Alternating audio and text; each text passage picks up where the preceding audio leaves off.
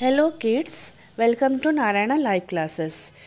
Today we are going to do the assignment for class PP1 subject literacy and our topic for today is intro of letter X.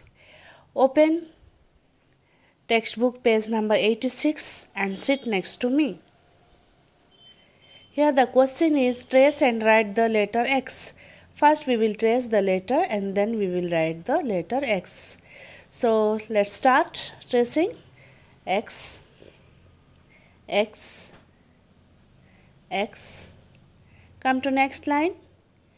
X X X X.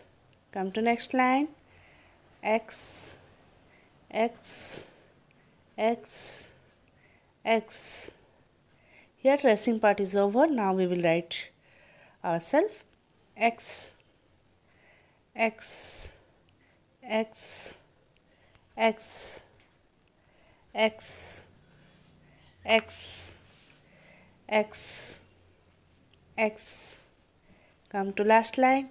X X X X. Like this you have to complete your assignment. Send to your expected class teacher through WhatsApp.